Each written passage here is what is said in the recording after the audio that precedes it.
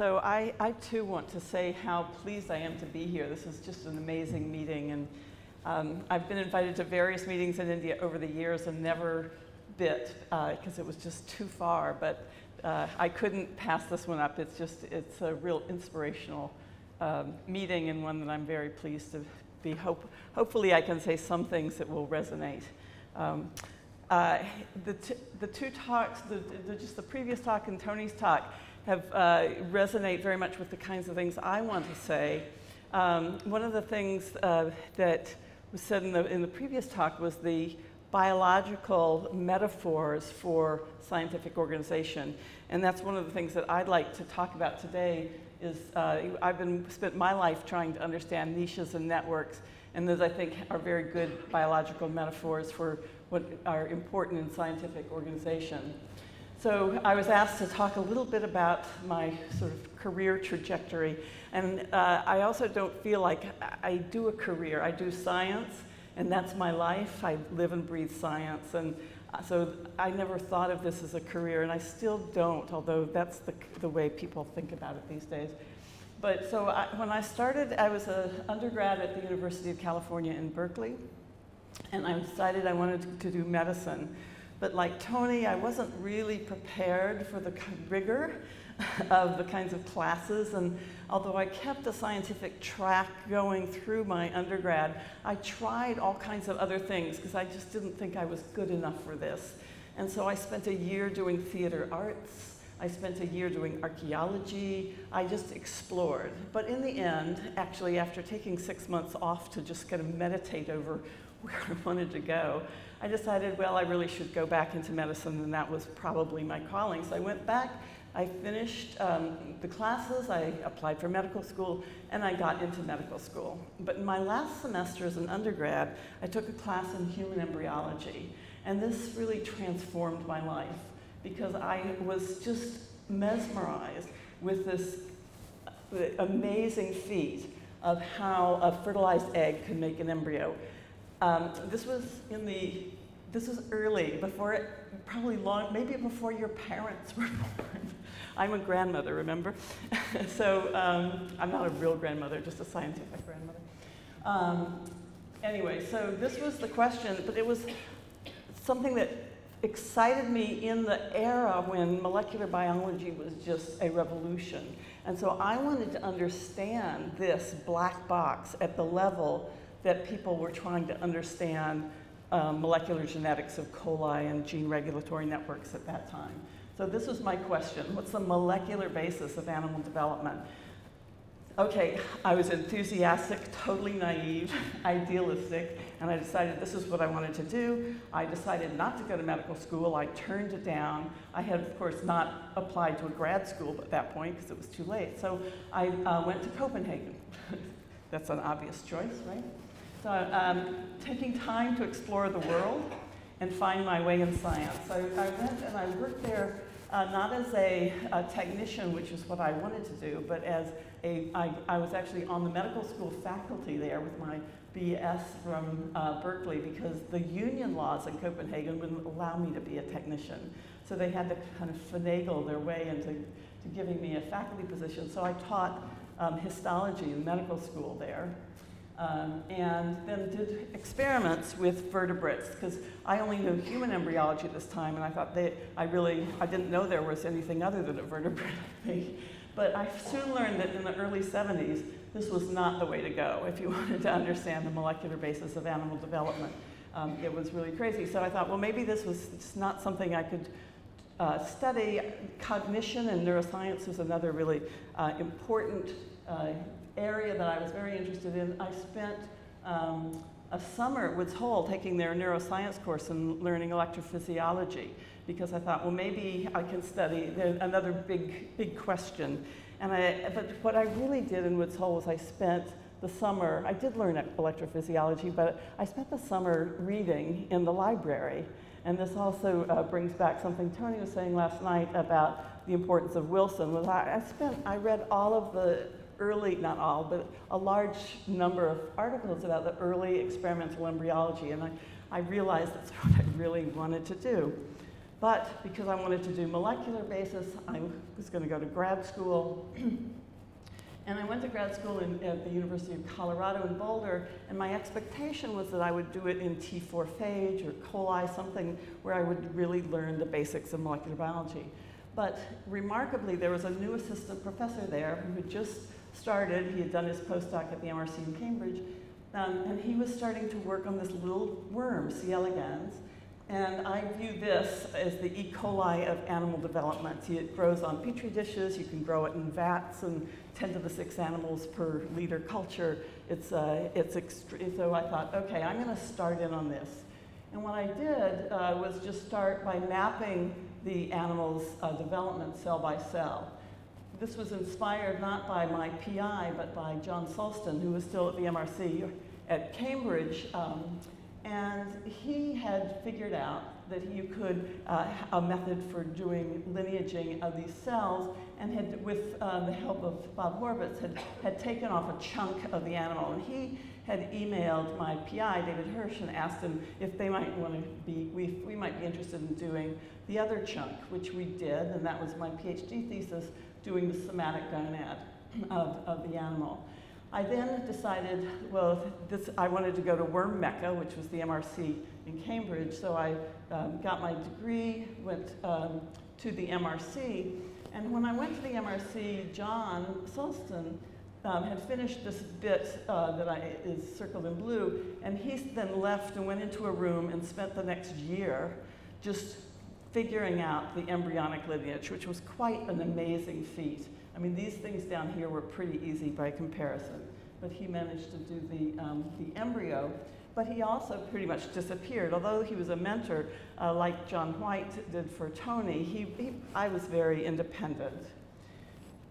So that, this is one of the things that I wanted to bring up is I, th I think um, creating your own niche, but it's, it's very useful to have an institutional niche and the MRC was just an amazing place. I never would have imagined how important this was. One of the things was that the postdocs were independent. There was no lab structure. I mean, there were mentors who would sign your paperwork, but you were assigned a bench and then you had to figure out what you're going to do. And the money, there was no funding for individual labs, there was funding for the whole institution. So the independence was, was really striking. Um, in addition, there were just an amazing cohort of students and postdocs, and this gets back to the theme you've heard, uh, the networking, how important this is. So, you know, Stan Fields, I don't know how many of you know Stan Fields um, invented the two hybrid system, Richard Harland, Doug Melton, there, there were Kim Nasmyth, many people were there as junior people, and when you look around and you're looking at your neighbor next to you, these are the junior people who probably in 20 years will be the senior leaders in your field. So, you know, pay attention to each other now as juniors because uh, it will, those, the friendships you're making just at this meeting will last you for a lifetime. There were also uh, senior researchers there, and they were liberated from grant writing, teaching, and committees. They actually still worked at the bench. Fred Sanger was still at the bench trying to figure out how to sequence DNA. Uh, Sidney Brenner was at the bench. Francis Crick was still in his office, but uh, he loved to talk, and that, that was also really fun. And these guys uh, were totally liberated to do what they wanted, and they were mentors we went to the canteen three times a day. We went for coffee, lunch, and tea. And we talked to these people. The seniors went there too. Max Perutz went with his little banana and his pillow because he had a bad back and he didn't like to eat the food they had up there. But he went to the canteen and he sat next to us and he talked with us about what we were doing. So this environment, uh, this was before email, it was before social media, it was before any of that. We talked all day about science, about ideas, and there was a tremendous emphasis on trying to figure out what the groundbreaking discoveries, because at the MRC, like I think many places in India, there wasn't a lot of money, there weren't great facilities, um, but there was the energy of the people, and those people were spending a lot of time figuring out what's the best idea and what's the most important, incisive experiment. So that was a great training ground, and I, I the more you can do to, to just um, bring that to your own institution, create that own kind of niche, um, for yourselves and for your students, uh, the, the, I think, more successful you'll be. So clearly this is important for networking. Um, so I want to go back a little bit to the science. So when I was a postdoc, I wanted to ask what cells do.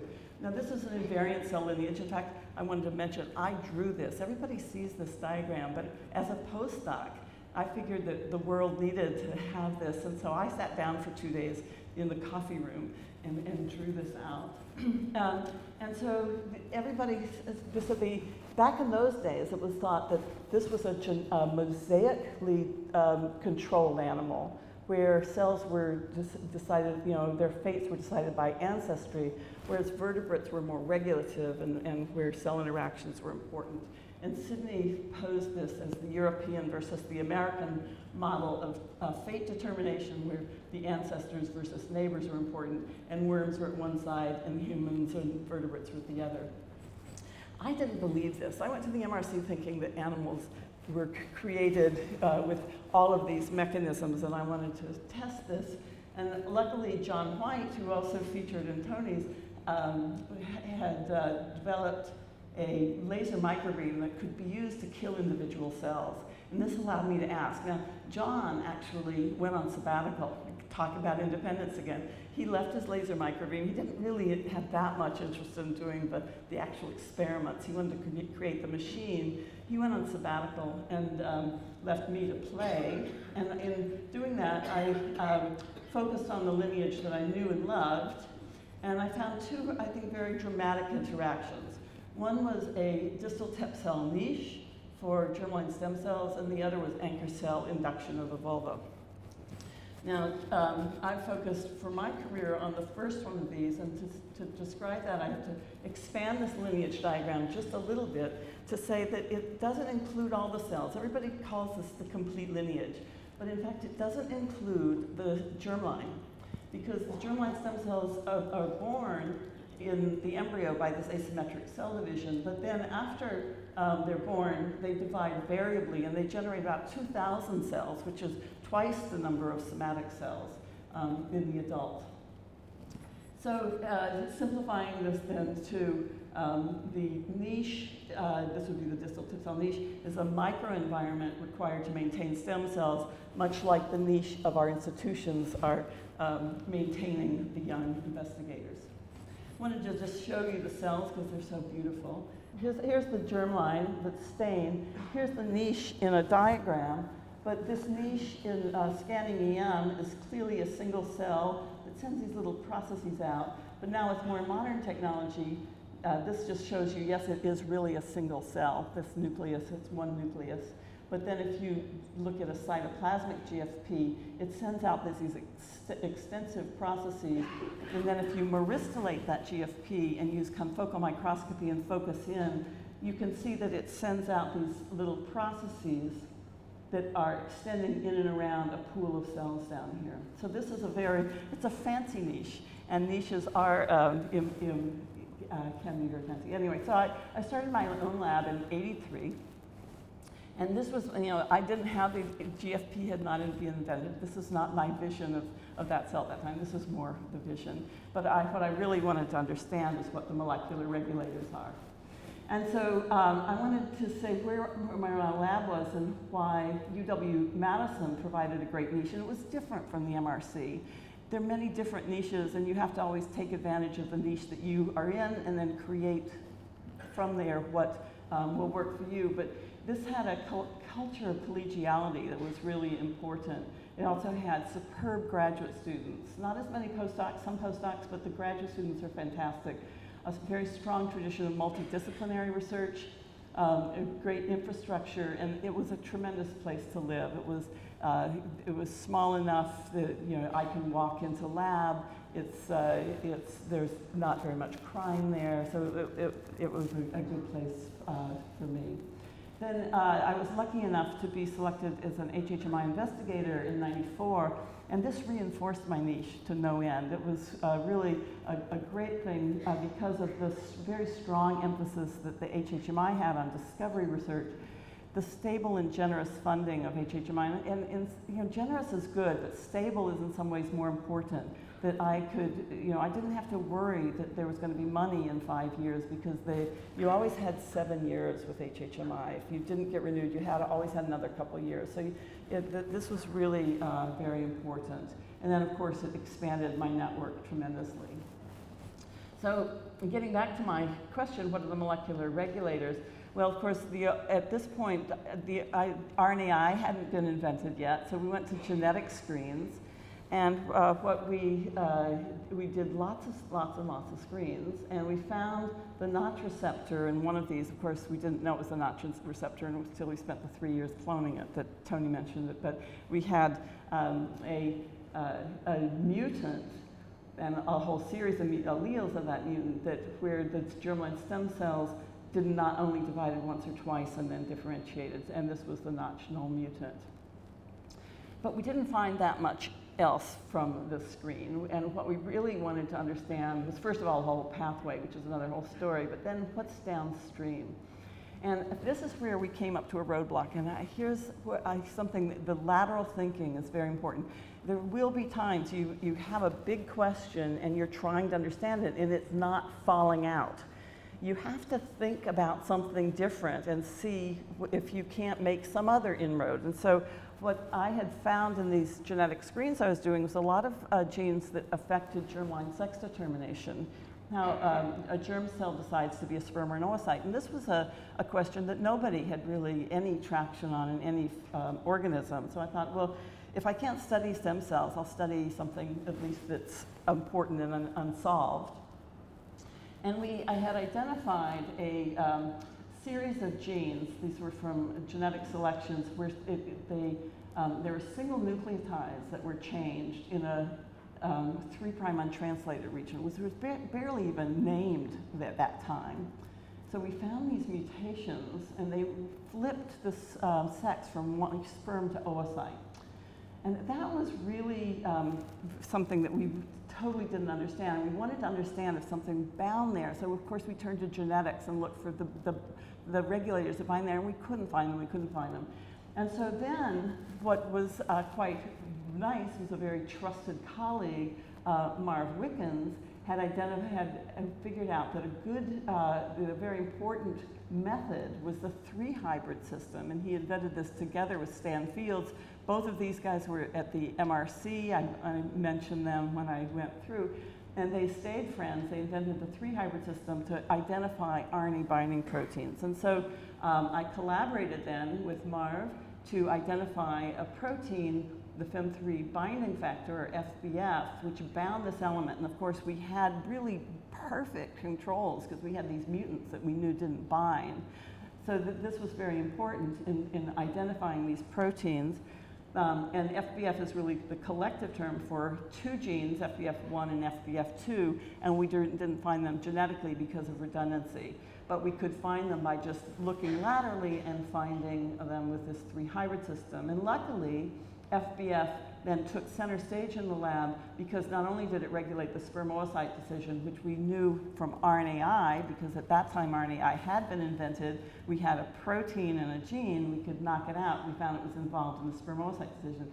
But then when we made mutants in it, deletion mutants, we found that uh, the stronger mutant also knocked out stem cells. So not only was this, we, we'd gone laterally because we couldn't make, had, didn't have traction um, with, uh, on the stem cell question, but we were really lucky that FBF was waiting for us there and it could tell us something uh, very fundamental about how stem cells are regulated. And this is a member of the PUF RNA binding protein family, which includes Pumilio, and Pumilio right at about the same time was being shown to be absolutely crucial for germline stem cells in Drosophila. So this is a conserved regulator. So this uh, detour had not only uh, not we'd gotten through the detour, but now we'd opened up the lab to have two decisions that we were working on. FBF linked them, but they were also uh, very different decisions and, and, very important in their own right. Um, we worked uh, for a number of years on, on the network that controlled the decisions of stem cells versus differentiation. FBF was right, a hub um, at the center of this network And we did this originally with candidates that we pulled out from mutations, but then we went genomically and we found out that FBF is a very broad spectrum regulator that controls um, over a thousand RNAs, and this controls differentiation programs, including the meiotic program. Um, so this, this was a, a, big breakthrough, our discovery of FBF. But what we really wanted to know then, of course, you're never satisfied. you know, you've, you've got the key regulator, but then, you know, what's the notch target? I mean, notch is really important. And we, by that time, we knew it was activating transcription of genes, and we, it, it wasn't activating transcription of FBF. So uh, what was there? Okay, so th that was something that we also ran into a roadblock um, to try and understand. And we went off into another completely different direction I'm not going to take time to tell you about in Wnt signaling and asymmetric cell divisions. We spent 10 years there while we were muddling around trying to push through the roadblock. And we finally, uh, again, did do it, pushed through it, and again we were running into redundancy. And what it turns out is that there are two genes, SYGL1 and LST1, that are the direct notch targets.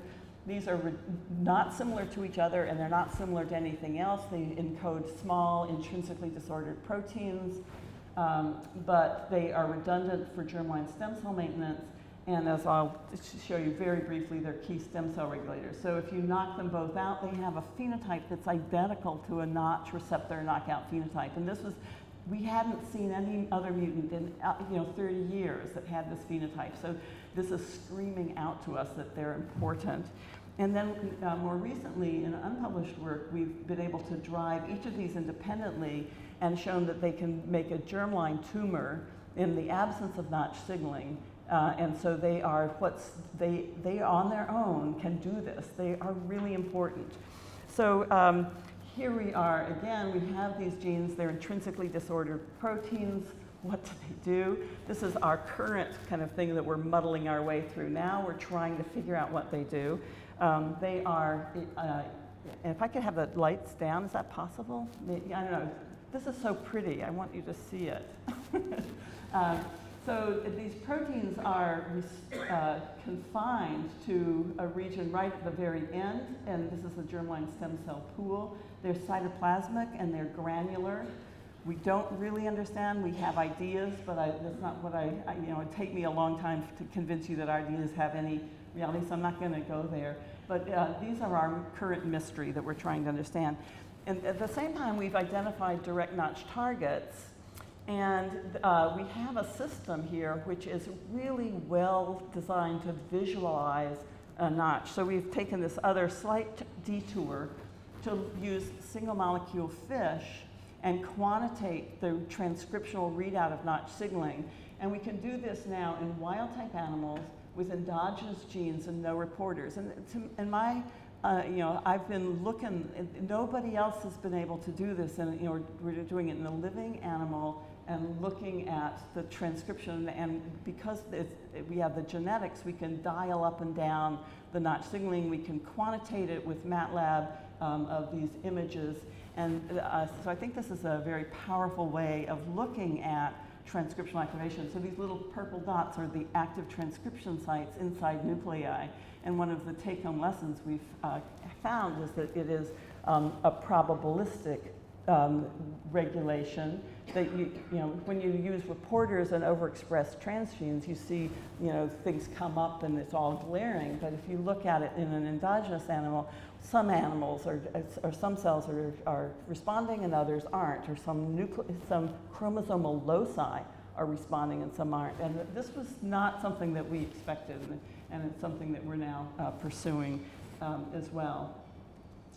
So uh, let me just finish by saying we, we've had, work, been working on these two decisions, and um, I've told you that FBF is a broad spectrum regulator of differentiation RNAs. This is not something we expected to find. Everybody is transcription factor mad, and uh, we thought we would be finding the transcription factors that were doing this, and we instead we found this broad spectrum RNA regulator that I think might be similar um, to when you think of transcription, there are the there's the whole polycomb uh, mechanism that's, that's down regulating transcription. And I think that FBF and the PUF or Pumilio-like proteins are similar, working on a different level and very important for stem cell regulation. Um, in our work on the spermoocyte decision, I really haven't talked about this at all, but uh, let me just tell you kind of the bottom line. This is unpublished work. Um, this is the terminal regulator of the, the spermoocyte decision genetically, and we've now both, we've crystallized it and used, uh, done, and looked at it, all of its, uh, the genes that it's regulating FOG3 also pulls down about a 1,000 RNAs. It's another broad spectrum RNA binding protein. It's working as a polymer, and it's, uh, we, when we I-clip it, it I-clips to across the 3' prime UTR. For some reason, we don't know why it's restricted there.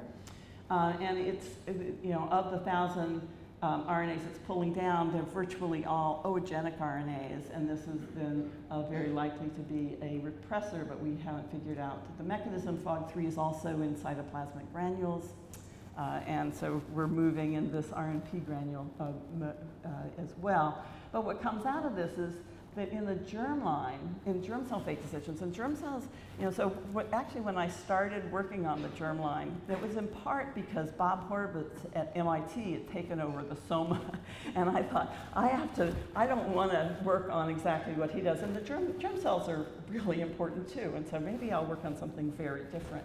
So I, um, and I hadn't expected to find that germ cells um, march to the, a different drummer that they are, uh, well, they, they use intercellular signaling and transcriptional control to regulate genes. What they're, they're doing in both the stem cell and the cell fate is to regulate these broad spectrum RNA regulators that are then dampening down um, the gene expression. And my thinking, and I, this is basically thinking or speculation obviously, is that the germline depends on RNA regulation to maintain its plasticity and totipotency and that if it used chromatin and transcription factors, that it would be locked in place and it would be much harder to open it up um, for fertilization. So um, this is my, not nearly as your, uh, your last slide, which I, I loved, but you know, I think it's very important to both find and create a supportive niche, both for yourself and when you're starting up, and then for your students and postdocs as you, uh, you grow up in, in your careers. Um, both develop and maintain networks. And you're coming here, you're going to be uh, meeting people here that will stay with you for your lives. Every, every place you go, take advantages to go out and meet people. Uh, something that I've done is I've been on committees all over the world, and the people that I meet on those committees, again, stay with me, and uh, that's been important. For um, I, but uh, just something I don't have here is learn how to say no politely. You will be asked to do many things, and it's important when you, because you're asked to do many things, you need to select things. So you need to learn how to prioritize what you say yes to and how to say no without um, offending people. So the way I say no usually is to say, well, let me think about that for a day. And then I have a chance to figure out my excuses. So um, or if I really want to do it. I actually do think about it. Um, you, you, need to choose your uh, questions very carefully. Again, you want big questions, but they have to be tractable. This is the art of the soluble. You have to find a question that you can solve. It's got to be important enough that, that it's a mystery, but uh, defined enough that you can actually solve it. That, that's a, a real art, I think. Um, you need to choose the people you work with very carefully. You need to choose the, your mentors very carefully when you go to postdocs, and you, you, and you need to choose uh, your students, your collaborators very carefully. Um, this kind of mirrors something Tony was saying, but I would say put one foot outside at a time outside your comfort zone. Keep one foot into kind of safe territory so you don't totally lose traction put one foot out, test the waters, and then if you're having fun, you can take the other one out there. So uh, I would say uh, step outside your comfort zone. I've always been outside my comfort zone, but I've always also had a little bit of, you know, known that if uh, ways to retract and, and re reboot and go different directions. And then grab opportunities and gamble. This is also something we all do, and we all have to do it continually. Um, and so you're all doing this uh, now, and I, I, wish you very luck in throwing the dice in the right way. Um, My niches and my networks, all very important throughout my career. My current lab, a fantastic group of people, and um, I'll stop there. No, no buzzers or bombs going off. Thank you for that.